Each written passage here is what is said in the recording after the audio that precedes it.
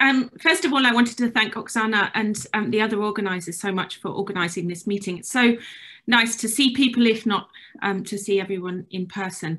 Um, so what I thought I would talk about today would be to um, talk about this work that we've been doing to try and make a synthetic paired helical filament. What am I going to tr try and do is to persuade you that we have made one, or at least that we are on the road to making one, and to explain why we even need to make one in the first place. Um, all slides.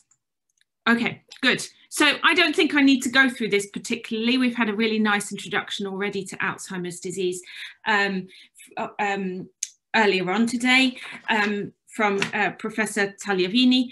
And so um, just to introduce the two um, types of plaques. We've got, um, so we've got amyloid fibril plaques on the left-hand side, and then we've got tau uh, neurofibrillary tangles on the right-hand side. And the only thing I wanted to point out here is that we've got electron microscopy images showing um, the deposits of um, fibrils um, in the brain tissue of um, humans. And um, what you can see in the lower panel um, on the right hand side, the neurofibrillary tangles, you can actually see um, the paired helical filaments. Perhaps you can see why they're called paired helical filaments there. But the important thing that I want to um, underline is that A beta and tau both share the structure of amyloid, the cross beta structure. Um, and this comes in quite, uh, quite important to point out when at meetings on Alzheimer's disease, because there's a, a temptation for people to refer to amyloid beta as amyloid. And as uh, you're all um, certainly aware amyloid is much more than just A beta. Um, and so what I'm showing here is um, some evidence that we have collected to show the cross beta structure of amyloid fibrils. Um, and um, what you can see here is the um, cross beta structural uh, cross beta fingerprint that you get from X-ray fiber diffraction. And I'm going to show you a quick movie um, to demonstrate the cross beta nature of amyloid fibrils. And many of you may have seen this movie before because I love it. Uh, so this is the beta strands running perpendicular to the fiber axis. And now you can see the hydrogen bonds uh, running parallel to the fiber axis and creating this incredible uh, strong network. And now looking down the fiber axis, you can see the interdigitation um, or the steric zipper, as it's been called by David Eisenberg, whereby um, the two sheets of this filament interact together and form this extremely stable arrangement. Um, so um, I'm not going to say too much more about um, that structure. I may come back to a little a little bit further on. Um, but I'm going to focus entirely on tau now. And so again, this has been introduced briefly already, but tau, um, as you will be familiar, is um, quite a complicated protein. Um, it uh, has six different isoforms and actually it has a hundred different forms that can be present um, in vivo. Um, and it's been most well known as a protein that binds to microtubules, um, but it also has some other forms and it can also be um, post-translationally modified, it can be acetylated, it can be phosphorylated, um, it can be hyperphosphorylated, it can be truncated. So uh, what I wanted to point out now is that tau is much more than just a microtubule binding protein. And uh, Mahmoud um, Maina, who works with me, um, did his PhD um, thesis and investigated um, the whereabouts of a non-phosphorylated form of tau. And um, he found that it was um, located within the nucleolus of the nucleus and therefore fulfills a very important function associated with heterochromatin. And so I put some um, references down here just in case um, that's something that you're interested in because it's a side uh, sideline to what I'm going to be talking about today. So um, as I've already shown you, we um, are able to do electron microscopy of tissue sections taken from um, donors who have donated their brain to research. Um, and what I'm showing here is a zoom in on the paired helical filaments that are deposited in the tissue of a, of a patient. And um, you can now see the paired helical filament nature of these filaments. And interestingly enough, there has been recently some um, controversy about whether paired helical filaments actually are paired helical filaments in vivo.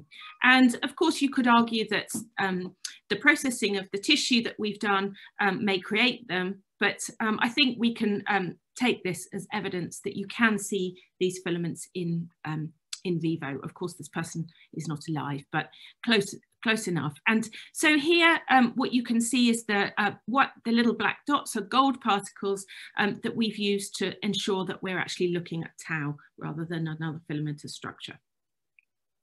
So as you will be familiar, um, cryo-electron microscopy um, structure was solved um, in the last few years of um, the paired helical filaments um, from patients when um, the PHF were extracted um, from tissue. Um, and I'm showing an image here and you can see again that the beta strands are running perpendicular to the fiber axis. And if we look to the left hand side, you can see the conformation of the structure down the fiber axis. Um, my cat keeps meowing, so I'm gonna have to put her on my lap so she stops, sorry. so um, when uh, the, the group of um, Godet and Scherers um, went on to solve many structures of tau filaments from different diseases. And what's really interesting about this is that although all of these structures share a cross beta structure, well, we assume that they certainly do, um, when you actually look at the um, conformation of the structures, you see that there's a, a, a high degree of polymorphism. So here we have AD uh, PHF and straight filaments, and then we have filaments from um, PIC disease, um, so frontal temporal dementia, um, PIC's um, form um, from chronic, traumatic encephalopathy, um, two types here, and then um, cortical basal degeneration. And so you can see, if we look down the fibre axis, that we do see some differences between these different um, structures. And I always wonder if this might be due to um, the, the earliest changes um, that occur within these patients that trigger the self-assembly of these structures and create a particular polymorph.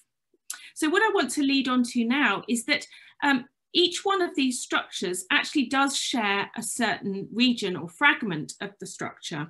Um, and it's covered by these repeat regions of the protein, the tau protein. So um, tau is um, formed of um, imperfect repeats, um, repeat region 2, 3 and 4 are all found within the structure.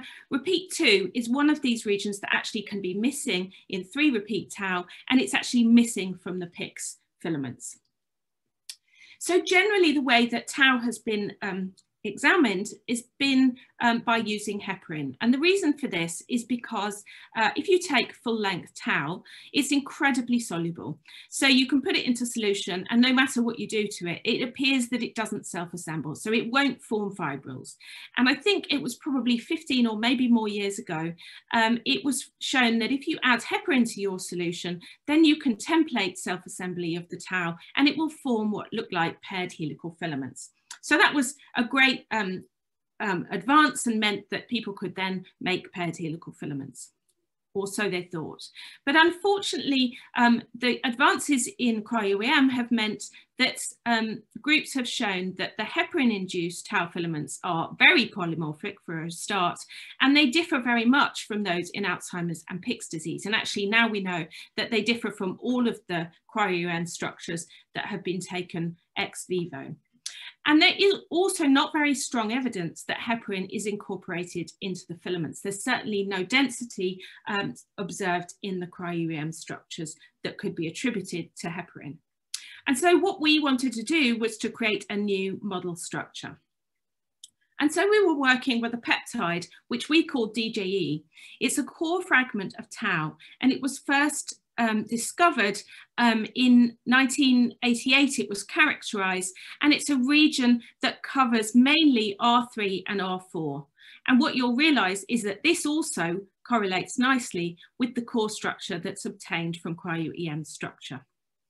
And they had raised an antibody which recognizes the C terminus of this protein, uh, which is called AB423.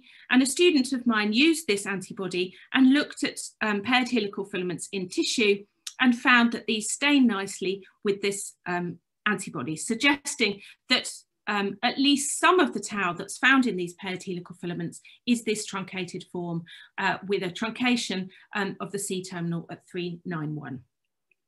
And as I've mentioned already, this overlaps nicely with the struct with the um, structures that have been solved by cryo-EM. So that's 304 um, to 378 um, that's shown in grey here with the pink um, box showing the, the DJE sequence.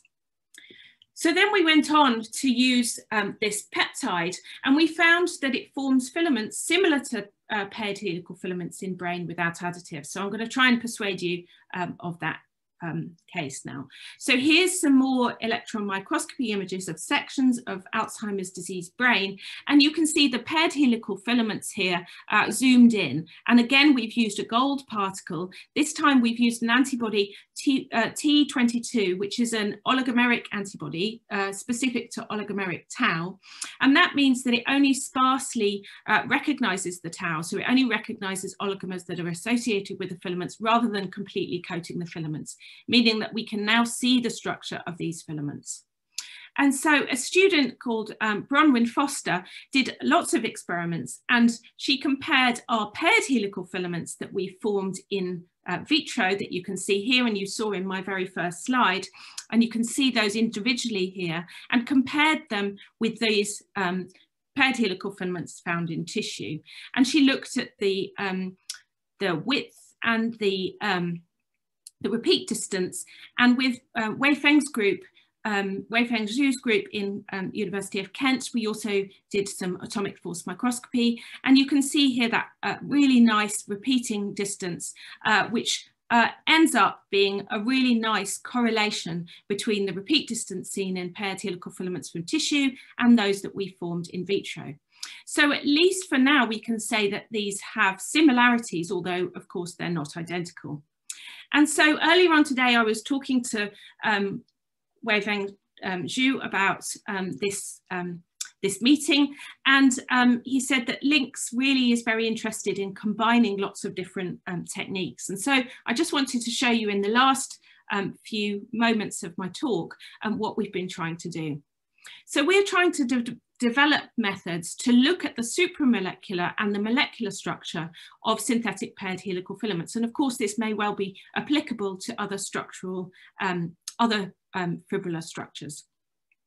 So we're coming back to X-ray fiber diffraction here. And here you can see the 4.7 angstrom reflection that comes from the hydrogen bonded uh, beta strands and the 9.5 angstrom reflection that comes from the beta sheet spacing. And so um, we were lucky enough to obtain some Alzheimer's disease uh, PHFs um, from Michelle Godet's group.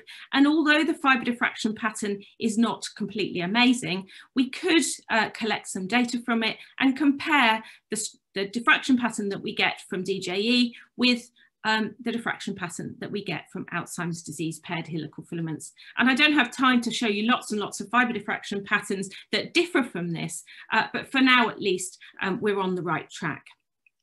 And so what we can do is we can take um, those structures that were solved by cryo-electron microscopy, and I'm just showing you a selection here and probably it's too tiny for you to see, but here's Pick's disease, here's uh, paired helical filaments from AD.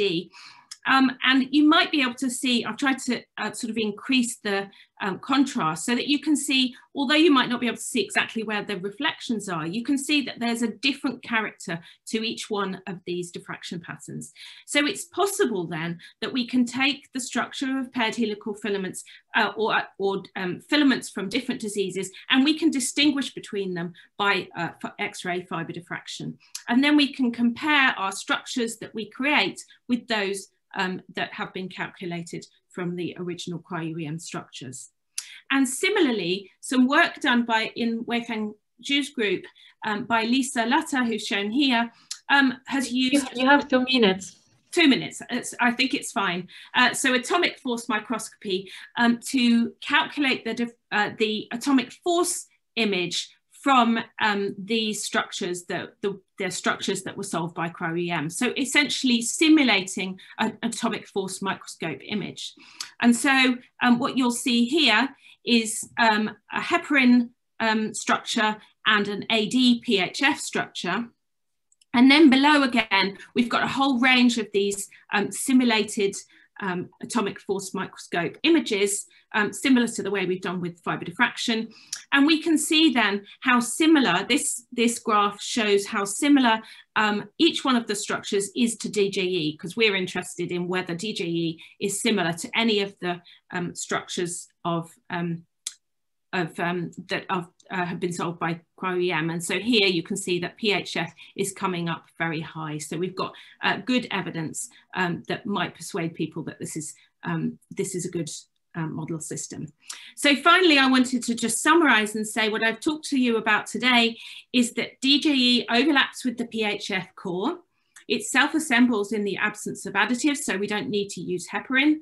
The filaments resemble PHF in human brain, and of course we need to do more work to, to really characterize that structure. Um, and um, we think, at least from the work we've done so far, that the filament may share molecular characteristics of ex vivo PHFs. And below in this little movie, I'm showing you the point of all of this, which is that this DGE without heparin is a useful model system to explore our cellular effects. And show, so shown here is um, DGE being internalized into cells, and you can see it um, being uh, associating with um, lysosomes. And this work is, uh, you can ex explains more here in Pollack et al. Um, and also it's a really good system to be able to test potential therapies. So we're working with um, uh, with um, Tau RX therapeutics to look at inhibition of this um, assembly. And of course, I always get to the end and then I lose time and I haven't had enough time to say uh, the important part, which is, of course, the acknowledgements. So at least you can see a number of quite happy looking people here. I've highlighted people as I went along, hopefully, and they are shown in bold here. So the people that work with me now, the people that have worked me, with me in the past um, on all of this work that I've shown you today. Um, and as I've said, we work with TowerX Therapeutics and with Weifeng's group at the University of Kent, Lisa and Liam. Um, and um, their work was um, that was done on um, nucleoli was done with um, Aidan Doherty at Sussex.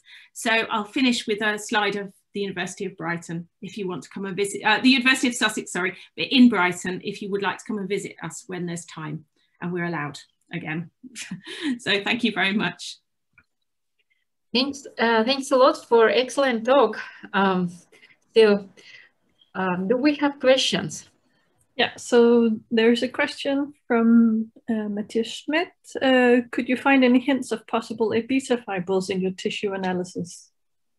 Uh, yes, well, so actually, we yes, we've got lots of nice images of um, AD filaments too, so we can use an antibody against a um, uh, of against A beta, um, and we also see amyloid plaques. It's it's very hard to see the structure of those filaments though, because they are very very tangled together. So they really are looking like a proper um, amyloid plaque. It's much harder to see the distribution of them. Perhaps also if, if I can ask a slightly more technical question maybe, but the, the cryo-EM structures, they are often, as mentioned previously, also incomplete in terms of flexible regions on the surface and things like this. How, how do you handle this in the kind of prediction or the calculated AFM or fiber diffraction studies? Yes, I think that um, that generally the field is convinced that there's a what they call a fuzzy coat. So mm. certainly there are flexible regions of the um, of the tau that are still associated with um, the protein within the filaments. I think what's important here is that what they've traced is obviously the, the highly um, stabilized and um, non-dynamic regions of the protein. Um, and what we're trying to model really is that core. So I, we're not saying that there's not the rest of, you know, that there's other parts of the tau um, there and that they might have very important, um, they might have very important biological functions as well. Um, but I, so. I'd imagine it also contributes more to the AFM than to the fiber diffraction because if it's fuzzy and so you wouldn't necessarily see it in the in the diffraction, but or does it also become blurry in the AFM? Yeah, that's a very interesting question. Uh, actually, at the moment, we haven't looked at the ex vivo filaments by AFM, and so that's something that will be definitely useful to look at. So thank you. That was a really nice question.